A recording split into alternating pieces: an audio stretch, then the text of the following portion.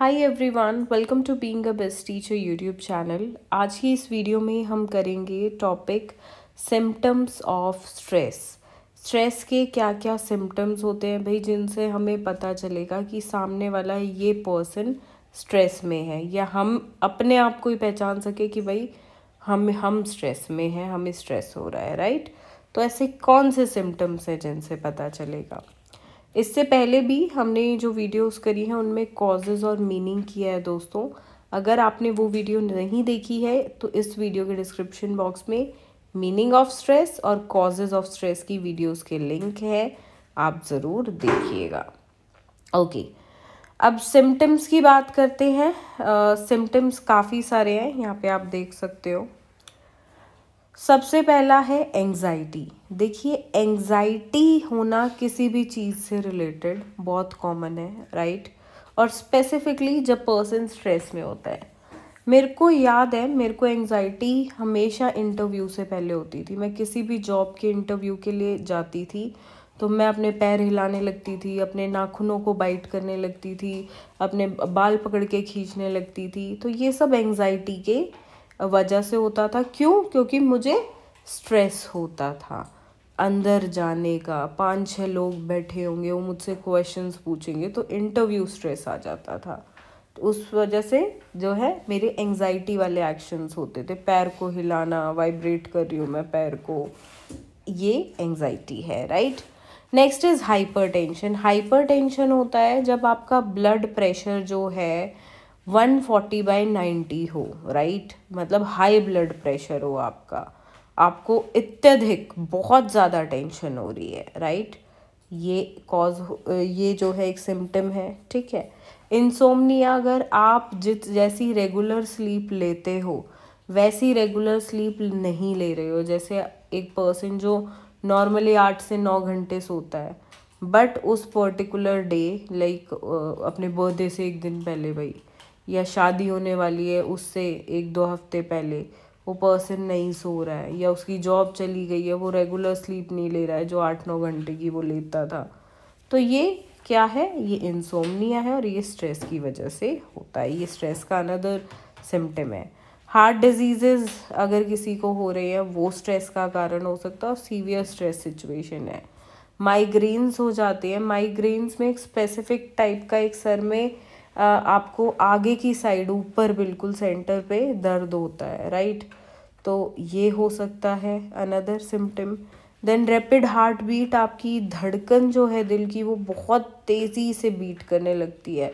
मतलब स्पीड जो है उसकी फ्रीक्वेंसी जो है वो बढ़ जाती है. अगर वो धक धक धक ऐसे कर रही है तो वहाँ पे वो बीट्स बढ़ जाएँगी. धक धक धक धक मतलब और फास्टली होने लग जाएगा right next is dizziness dizziness is when you feel like आपको चक्कर आ रहा है वॉमिटिंग सेंसेशन हो रहा है दैट इज़ डिजीनेस वो भी स्ट्रेस की वजह से हो सकता है। बहुत लोगों को होता भी है। लाइक like, अगर आपको ऑफ़िस में फ़र्स्ट टाइम कोई प्रेजेंटेशन देनी है और उसका स्ट्रेस है या आप काम बहुत सालों से कर रहे हो पर कोई स्पेशल प्रेजेंटेशन देनी है तो उस वजह से स्ट्रेस है। और डिजीनेस हो जाती है कुछ लोगों को। तो आप लाइक like, बहुत सारे लोग हैं। आए मेरा एक ब्रदर है। उसको जब भी स्ट्रेस होता है तो उसको डिजीनेस फील होता है राइट उसको वॉमिटिंग सेंसेशन या कभी कभी तो वॉमिट कर भी देता है चक्कर आने लगते हैं उसको। तो उसके साथ ये वाला सिम्टम है स्ट्रेस का। कुछ लोगों में शॉर्टनेस ऑफ़ ब्रेथ हो जाती है, यानी कि वो सांस उनको ढंग से नहीं आता है राइट तो उस वजह से स्ट्रेस होता है। I remember one of my in relatives उनकी बेटी की शादी थी तो उसकी मदर को उस दिन शॉर्टनेस ऑफ़ ब्रेथ हो गई थी मतलब एक दो दिन पहले भी, जैसे जैसे टाइम और वो पर्टिकुलर डे पास आया, क्योंकि उनकी बेटी उनसे दूर जा रही थी और उस वजह से वो स्ट्रेस में थी। शॉर्टनेस ऑफ़ ब्रेथ जैसे ही होती थी तो सब समझ जाते थे कि ये पक्का कुछ ना कुछ सोच रही हैं। इस वजह से इनको फिर से वैसी ही फीलिंग आने लग गई है। नेक्स्ट इज़ हेड एक्स यानी कि सर का दर्द आ जाता है, ये बहुत कॉमन है। टेंशन आ जाती है कुछ लोगों को राइट तो उस वजह से आप पहचान सकते हो कि यस ये बंदा जो है वो स्ट्रेस में है। ये तो बहुत नॉर्मल है, हम किसी को तनाव में देखते हैं टेंशन में देखते हैं तो हम समझ जाते हैं कि ये टेंशन लाइक स्ट्रेस की वजह से आई है।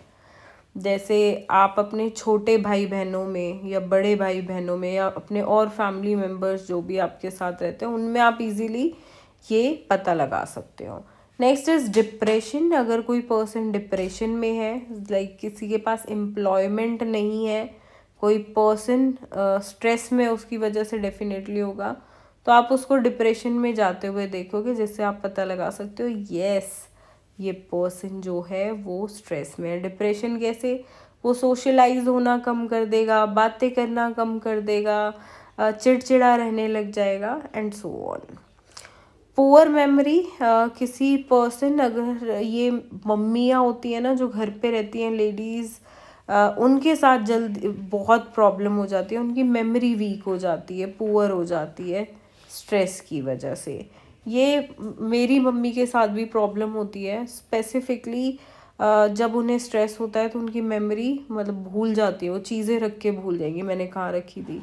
ऐसा चार्जर्स के साथ, घर की चाबियों के साथ, और भी छोटे मोटे आइटम्स के साथ वो बहुत करती रहती है। और उससे मैं हमेशा अपनी मम्मी को पहचान जाती हूँ कि यस मेरी मदर को स्ट्रेस हो रहा है कि अब वो चीज़ें और ज़्यादा रख कर भूल रही हैं उनकी मेमोरी पुअर हो गई है right next is weight gain बहुत लोगों में वेट गेन हो जाता है स्ट्रेस की वजह से।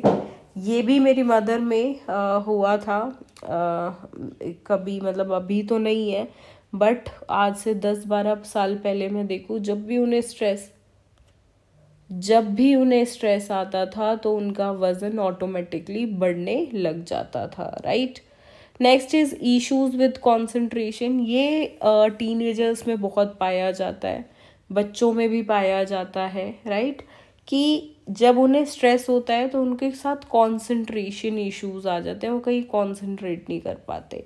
सिर्फ़ उन्हीं के साथ नहीं है इवन मैं अपनी बात करूँ, अगर मुझे स्ट्रेस होता है तो मैं कंसंट्रेट नहीं कर पाती हूँ। लेट सपोज़ अगर मुझे किसी शादी में जाना है, ठीक है, या कल मुझे कहीं और जाना है एक्स वाई जेड शॉपिंग पे जाना है या और कहीं तो मेरा डेली का जो रूटीन है वो बिगड़ जाएगा। उस वजह से भाई उस जगह जाना है जाना है जाना है तो मुझे स्ट्रेस आ जाता है।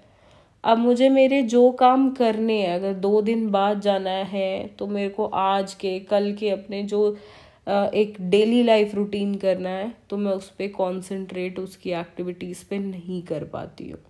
राइट सो ये यहाँ पे सिम्टम्स हैं स्ट्रेस के एंड इसके अलावा भी काफ़ी सारे हैं। अगर कोई आपको क्लिक होता है तो you can definitely write in your answer मैं उम्मीद करती हूँ आपको टॉपिक समझ आया होगा। कोई भी क्वेरी हो तो कमेंट सेक्शन में लिखकर ज़रूर बताइएगा दोस्तों। धन्यवाद। जय हिंद।